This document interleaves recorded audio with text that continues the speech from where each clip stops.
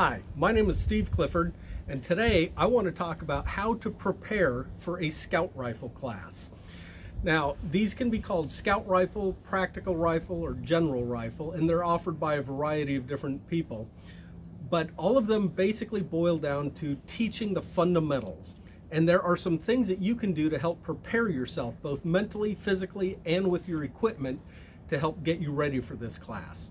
I've taken four of these so far. Twice I took practical rifle from Randy Cain, once in Florida and once in West Virginia. Florida would be nice right about now. It's about 35 degrees here in Virginia where I'm doing this. I, I took the uh, scout rifle class from the Steyr Academy down in Talladega, Alabama. The instructors at that were uh, Richard Mann and Mario Marchman. That was really exciting. And I also took the five and a half day scout rifle class from Tom Russell out at the Whittington Center in New Mexico.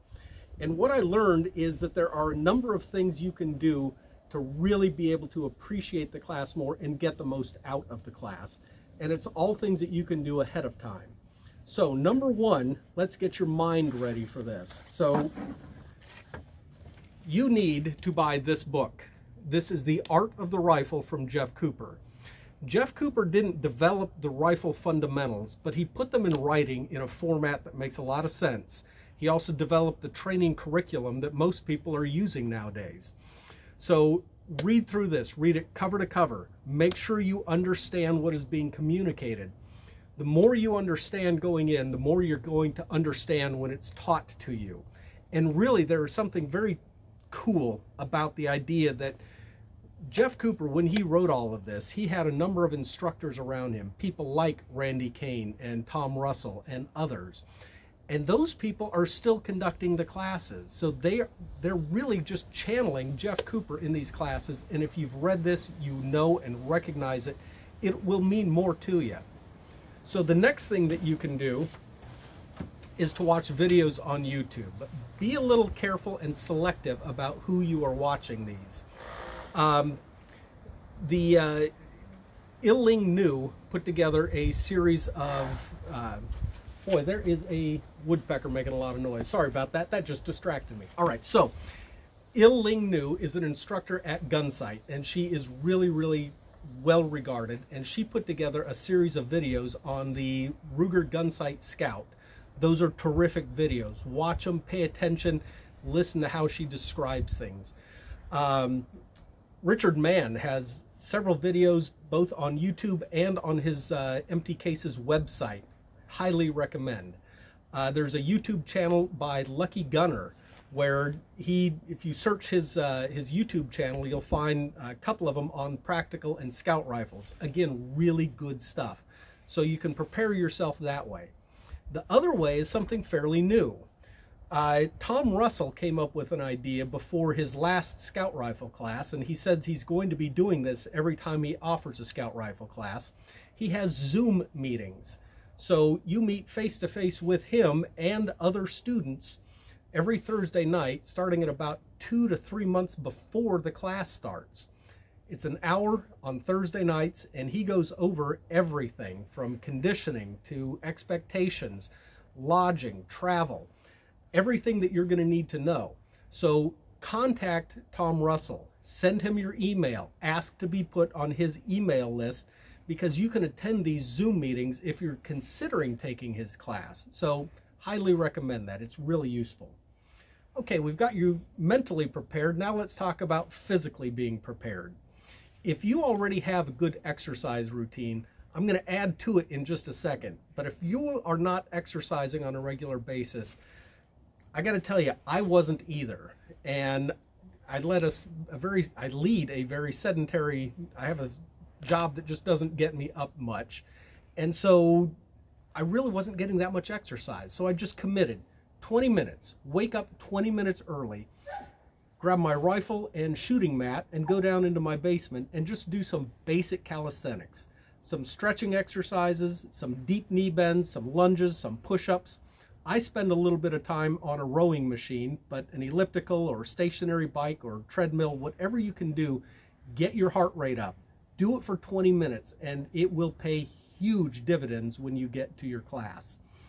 if you're already doing some uh, some exercises, bring your rifle along and start adding this into your routine. Start adding in getting into the shooting positions. And after you read The Art of the Rifle, you'll know how to get into a basic kneeling position. And, and go down into the kneeling position five times and recover. Then go down into squat five times and recover.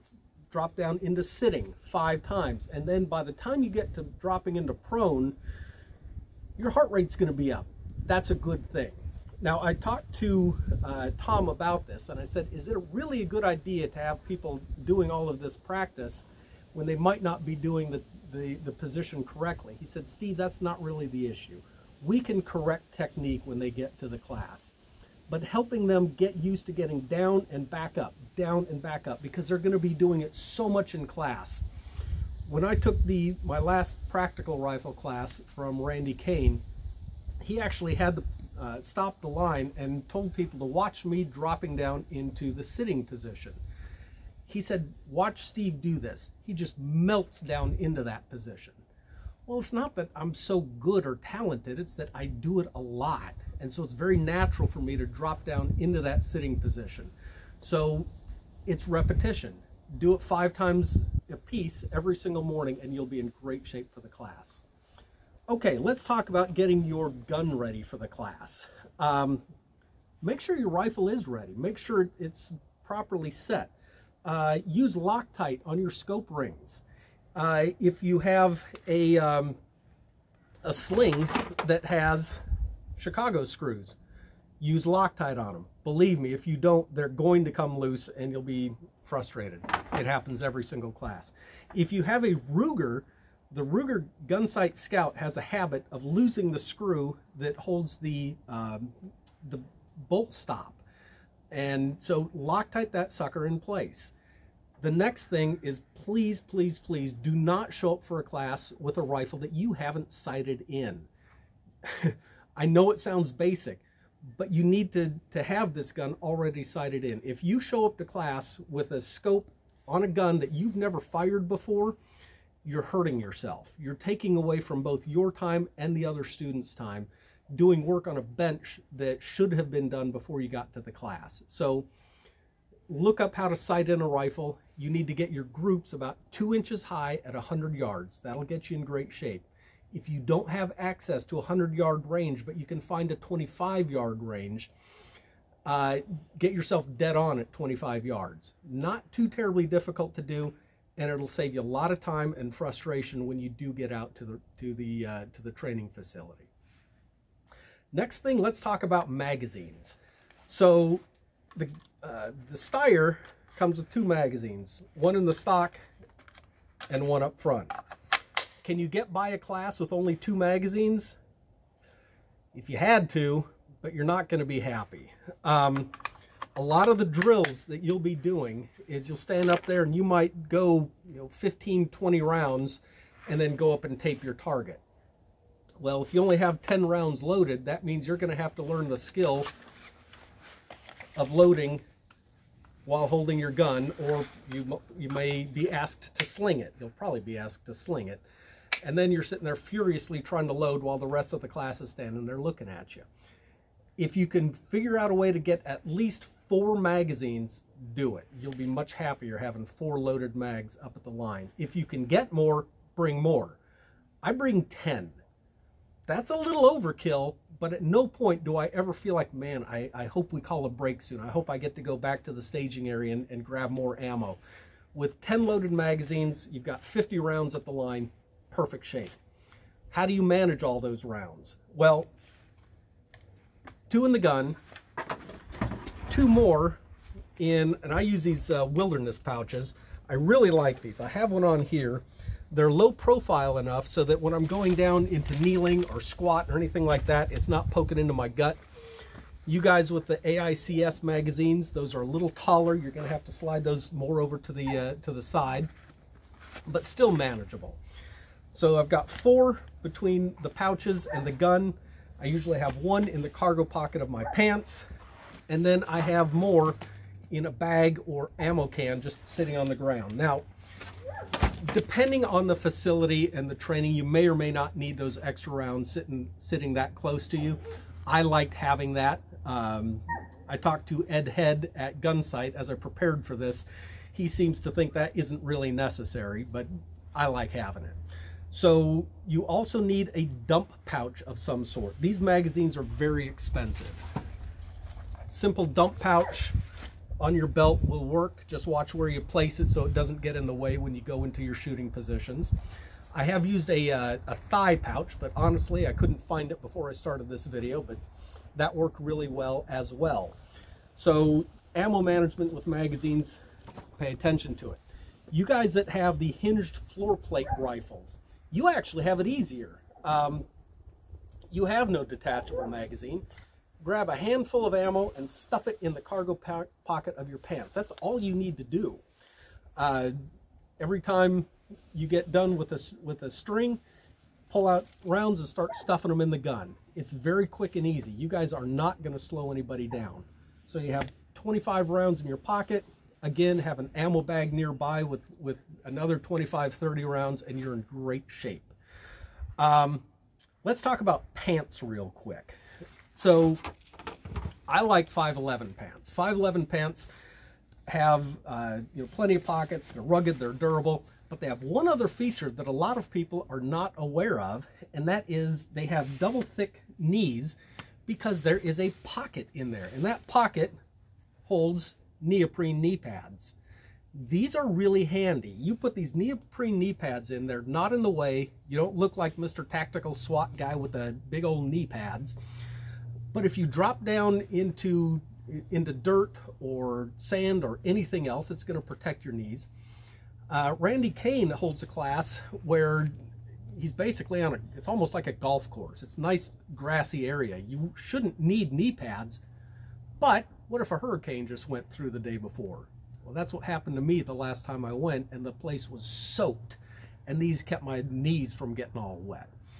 The other advantage to these is when you go down into your sitting position, your elbows are going to be on your knees. Well, that gives a nice cushioned place to rest your elbows every time you go into sitting or kneeling or one of the other supported positions. So really highly recommend the knee pads. I also really do, oh, sling. Let's talk about slings real quick. Um, some people show up to classes without a proper sling. They bring a carry strap. Don't be that guy. Um, you need a proper sling. And by a sling, I mean one that has a loop that you can lock your arm into. If you have a three-point attachment, the obvious choice is a ching sling. It's got that loop, and you're going to be locked into it good and tight. Uh, if you only have two positions, you've got some choices. Um, Galco makes what they call their Safari Ching. Uh, some people like that. I don't, but Il Ling New seems to like it. She uses it on her uh, on her video series. Galco now has a new one called the uh, Rifle Man Sling that was developed in conjunction with uh, Richard Mann. It has a proper loop and will lock you into it. But most people are using the Andy's Rhodesian Sling, Andy's Leather, andysleather.com. Uh, very simple solution. It makes for good carry strap, but you can also use it as a loop sling. It works really, really well. Highly recommend it. The last couple of times I've gone to a class, I brought this sling with me and I end up loaning it out to people and, and it's usually very much appreciated. Uh, scopes. Let's talk scopes before we finish up. So if all you have is a 4 to 14 by 50 scope, you can bring that. You're going to wish you didn't. You're going to wish that you had a low power variable scope or a scout scope. And the reason is a lot of your shooting is done very close range. You're going to start at 10 yards and then go all the way back, depending on the facility, anywhere from two to 300 yards. Uh, scout scopes work great, low power variables. You know, the one to sixes, the one to fives, anything like that is great two to seven is about the maximum that you're going to need out there and the maximum you're going to want. So uh, two, two and a half power is the is the maximum that you're going to want for those closer in for that closer in work, and that's going to be work with a snapshot. So think about scopes before you go out. Um, shooting mat, everything else, talk to your instructor. Give them a call. Ask them what types of equipment they recommend. Look at their website. All of them have a website where they have required equipment. Some of them will say, here's the optional things you can bring. Uh, you know, pay attention to things like hydration and footwear and rain gear and all of that. But everything that I've gone over hopefully will help you in getting yourself better prepared for your scout rifle class. My name is Steve Clifford, and if you've enjoyed this video, please consider subscribing to my YouTube channel. Thank you.